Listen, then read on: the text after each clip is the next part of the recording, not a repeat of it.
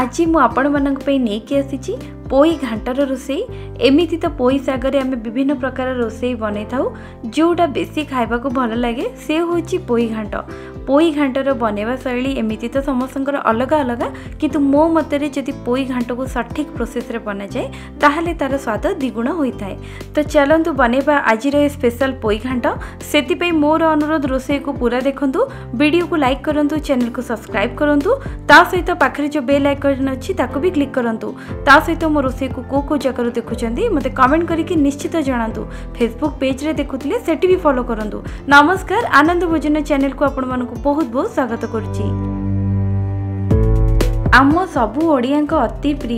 ଆଉ ସୁଆଦିଆ ପୋଇ ଘାଣ୍ଟ ବନେଇବା ପାଇଁ ପ୍ରଥମେ ମୁଁ ଗ୍ୟାସ୍ ଅନ୍ କରିକି ଗୋଟେ କଡ଼େଇ ରଖିଦେଇଛି ପ୍ରଥମେ କୁକର୍ରେ ଦେବି ଗୋଟେ ବଡ଼ ଚାମଚ ସୋରିଷ ତେଲ ତେଲ ଏଠି ଭଲସେ ଗରମ କରିବା ତା ଭିତରେ ଏଠି ଦେଖନ୍ତୁ ମୁଁ ପୋଇ ଘାଣ୍ଟ ପାଇଁ ବିଭିନ୍ନ ପ୍ରକାରର ପରିବାକୁ ଧୋଇକି କାଟିକି ରଖିଛି ପରିବାରେ ମୁଁ ଏଠି ନେଇଛି ଫାଳେ ମାଟିଆଳୁ ଗୋଟେ ଛୋଟ ସାଇଜ୍ର ଆଳୁ ତା ସହିତ ପୋଇ ଡଙ୍କକୁ ବି କାଟିକି ରଖିଛି ତା ସହିତ କିଛି କଖାରୁକୁ ବି କାଟିକି ନେଇଛି ତା ସହିତ ଆମକୁ ଦରକାର ଫାଳେ ଜହ୍ନି ତା ସହିତ ଗୋଟେ ବାଇଗଣକୁ ବି କାଟିକି ନେଇଛି ତା ସହିତ ଦୁଇରୁ ତିନି ଚାମଚ ଭଳିଆ ବୁଟ ଡାଲିକୁ ଦୁଇ ଘଣ୍ଟାରୁ ପାଣିରେ ଆଗରୁ ବତୁରେଇକି ଧୋଇକି ରଖିଛି ମୁଁ ଯେତିକି ବି ପରିବା ନେଇଛି ତା ଭିତରୁ କଖାରୁ ଆଉ ମାଟି ଆଳୁକୁ ପୋଇ ଘାଣ୍ଟରେ ନିଶ୍ଚିତ ପକାଇବେ ଜମା ହେଲେ ସ୍କିପ୍ କରିବେନି ଆଉ ବାକି ଯେଉଁ ପରିବା ରହିଲା ତା ଭିତରୁ କେଉଁଟା ବି କମ୍ ହେଲେ କି ବା ବେଶୀ ହେଲେ ବି ଚଳିବ ଏବେ ଏ ପରିବାର ଥାଳିକୁ ନେଇଯିବା ପ୍ରଥମେ ତେଲରେ ଆଳୁ ମାଟି ଆଳୁ ଓ ପୋଇ ଡଙ୍କୁକୁ ଦେଇକି ଭାଜିବା ଯାହାଦ୍ୱାରା ଏଥିରେ ଯାହା ବି ନାଳ ଅଂଶ ଥିବ ସେ ଭାଜିବାରୁ କମ୍ ହୋଇଯିବ ତା ଛଡ଼ା ଯଦି ଏସବୁ ନ ଭାଜିକି ବନେଇବେ ତାହେଲେ ପୋଇ ଘାଣ୍ଟର ଟେଷ୍ଟ ସିଝା ସିଝା ଲାଗିବ ସେଥିପାଇଁ ପ୍ରଥମେ ଏମିତି ଟିକେ ଭାଜିଦେବେ ତାପରେ ବନେଇବେ ଏଠି ଦେଖନ୍ତୁ ଏସବୁକୁ ଭାଜିବା ତିନିରୁ ଚାରି ମିନିଟ୍ ହୋଇଗଲାଣି ଏବେ ଆମେ ଏଥିରେ ଗରମ ପାଣି ପକେଇବା ଧ୍ୟାନ ରଖିବେ ରୋଷେଇର ମଝିରେ କେବେ ହେଲେ ଥଣ୍ଡା ପାଣି ପକେଇବେନି ଗରମ ପାଣି ହିଁ ପକେଇବେ ପାଣି ପକେଇଲା ପରେ ଏବେ ଏଥିରେ ବତୁରେଇକି ରଖିଥିବା ବୁଟ ଡାଲିକୁ ପକେଇଦେବା ता स्वाद अनुसार लुण पकेवा आउ अधा चामच भिया हलदी गुड पक पके यु चामचले भलसे गोलैक कभर मसाला बनेबा सेति पई देखंतु मु गए गोटे मसला बनैवा मिक्सिर जारे प्रथमे दुई गे छोटोइज र कटा पियाज तुई इच भाइ अदा 10 रु बारकला भिया चोपा छडा रसुण तपाईँ एतिरे पकेबा गोटे चमच कडा सोरिष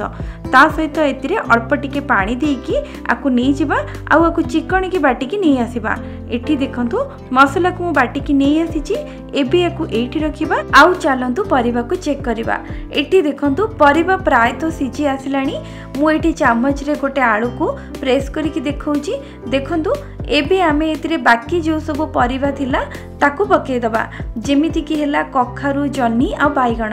ଏବେ ଫ୍ଲେମ୍କୁ ହାଇରେ କରିବା ଆଉ ଆକୁ ଚାମଚରେ ଥରେ ଗୋଳେଇକି ପୁଣି ଥରେ କଭର୍ କରିଦେବା ଆଉ ଚାରିରୁ ପାଞ୍ଚ ମିନିଟ୍ ପାଇଁ ମିଡ଼ିୟମ୍ରୁ ହାଇ ଫ୍ଲେମ୍ରେ ଏସବୁ ପରିବାକୁ ସିଝିବାକୁ ଛାଡ଼ିବା ଏଠି ଦେଖନ୍ତୁ ଢାଙ୍କୁଣିରେ ଘୋଡ଼େଇକି ସିଝେଇବା ଆଉ ପାଞ୍ଚ ମିନିଟ୍ ହେଇଗଲାଣି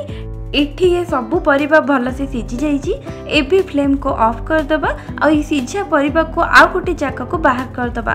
ମୁଁ ଏଠି ଗୋଟେ କଂସାକୁ ବାହାର କରିଦେଇଛି ଏବେ ଚାଲନ୍ତୁ ନେକ୍ସଟ ଷ୍ଟେପ୍କୁ ଯିବା ବା ପୋଇ ଘାଣ୍ଟ ପାଇଁ ମସଲାକୁ କଷିବା ସେଥିପାଇଁ ମୁଁ ସେଇ ସେମ୍ କଡ଼େଇକୁ ଆଉ ଥରେ ଗ୍ୟାସ୍ ଅନ୍ କରିକି ରଖିଦେଇଛି ଏବେ କଡ଼େଇରେ ଦେବି ଆଉ ଦୁଇ ଚାମଚ ତେଲ ଯେମିତି ତେଲ ଗରମ ହୋଇଯିବ ପ୍ରଥମେ ଏଥିରେ ପକାଇବା ୱାନ୍ ଫୋର୍ ଟି ସ୍ପୁନ୍ ଜିରା ତା ସହିତ ୱାନ୍ ଫୋର୍ ଟି ସ୍ପୁନ୍ ସୋରିଷ ତା ସହିତ ଦୁଇରୁ ତିନିଟା ଶୁଖିଲା ଲଙ୍କା ତା ସହିତ ଗୋଟେ ତେଜପତ୍ର তেজপত্র পকাইলা পরে যেমিতি এসবু ফুটণ টিকে ফুটি আসব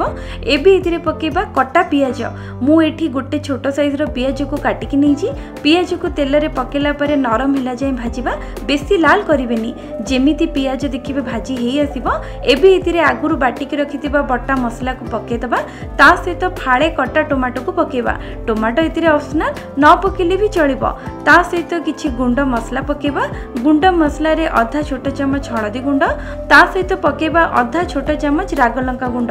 ରାଗ ଲଙ୍କା ନିଜ ଟେଷ୍ଟ ଅନୁସାରେ କମ୍ ବେଶୀ କରିବେ ତା ସହିତ ପକାଇବା ଗୋଟେ ଚାମଚ ଧନିଆ ଗୁଣ୍ଡ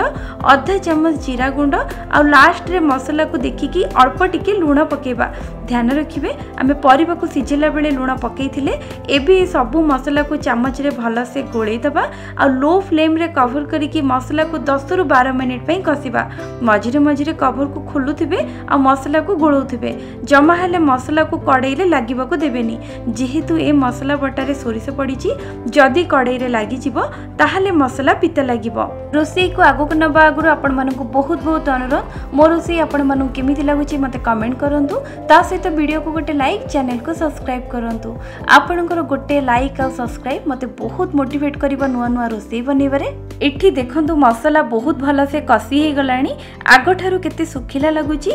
ଏବେ ଆମେ ଏଥିରେ ସିଝେଇକି ରଖିଥିବା ପରିବାକୁ ଆଣିକି ପକାଇଦେବା ତା ସହିତ ଏଠି ଦେଖନ୍ତୁ ମୁଁ ପୋଇ ଶାଗକୁ ଭଲସେ ଧୋଇକି ତାକୁ ଏଠି କାଟିକି ରଖିଛି ପୋଇ ଶାଗର କ୍ୱାଣ୍ଟିଟି ଆପଣ ନିଜ ଇଚ୍ଛା ଅନୁସାରେ କମ୍ ବେଶୀ କରିବେ ଏବେ ଏ ପୋଇ ଶାଗକୁ ନେଇଯିବା ଆଉ ଆକୁ ବି ପରିବା ସହିତ ପକାଇଦେବା ଯେହେତୁ ପୋଇ ଶାଗ ସିଝିବାକୁ କମ୍ ସମୟ ଲାଗେ ସେଥିପାଇଁ ଆକୁ ଲାଷ୍ଟରେ ପକାଇବେ ଶାଗ ପକାଇଲା ପରେ ଆକୁ ପରିବା ସହିତ ଭଲସେ ଗୋଳେଇଦେବା ମୋତେ ଏଠି ଏଇ ଷ୍ଟେଜ୍ରେ ଟିକିଏ ପାଣି କମ୍ ଲାଗୁଛି ସେଥିପାଇଁ ଏଥିରେ ଆଉ ଅଳ୍ପ ଟିକିଏ ଗରମ ପାଣି ଦେଇଦେବି देलापर फ्लेम को मीडियम रु हाईरे रखिकी आपको आउ थे भलसे गोलैकी कभर करदेवि ଏଠି ଦେଖନ୍ତୁ କଭର୍ କରିବା ପାଞ୍ଚ ମିନିଟ୍ ହେଇଗଲାଣି ପୋଇ ଘାଣ୍ଟ ଆମର ଖାଇବାକୁ ପୁରା ରେଡ଼ି ଏଠି ଦେଖିପାରୁଥିବେ ଘାଣ୍ଟଟି କେତେ ସୁନ୍ଦର ଦେଖାଯାଉଛି ଆଉ ପୁରା ଘର ବାସୁଛି ଏବେ ଆପଣଙ୍କୁ ଏଇ ଷ୍ଟେଜ୍ରେ ଘାଣ୍ଟରେ ଟିକେ ବେଶୀ ପାଣି ଲାଗୁଥିବ କିନ୍ତୁ ପରେ ଥଣ୍ଡା ହେଲା ପରେ ଦେଖିବେ ଇଏ ପୁରା ଶୁଖିଲା ହେଇଯିବ ସେଥିପାଇଁ ଏତିକି ଗ୍ରେଭି ଥିବ ଗ୍ୟାସ୍କୁ ଅଫ୍ କରିଦେବେ ଏବେ ଚାଲନ୍ତୁ ଆକୁ ଗରମା ଗରମ ଭାତ ସହିତ ବାଢ଼ିବା ମୁଁ ଆଜି ୟାକୁ ଦ୍ୱିପହରରେ ଭାତ ସହିତ ବାଢ଼ିଥିଲି ବହୁତ ହି ଟେଷ୍ଟି ହେଇଥିଲା ପୋଇ ଘାଣ୍ଟକୁ ଯେତେବେଳେ ବି ଖାଇବେ ଗରମ ଥିବ ହିଁ ଖାଇବେ ତାହେଲେ ହିଁ ଏହାର ଟେଷ୍ଟ ବେଶୀ ଭଲ ଲାଗିବ ଥରେ ଏହି ପ୍ରୋସେସ୍ରେ ପୋଇ ଘାଣ୍ଟ ବନାନ୍ତୁ ଆଉ କେମିତି ଲାଗିଲା ମୋତେ କମେଣ୍ଟ କରିକି ଜଣାନ୍ତୁ ଆଜି ପାଇଁ ଏତିକି ରହୁଛି ଧନ୍ୟବାଦ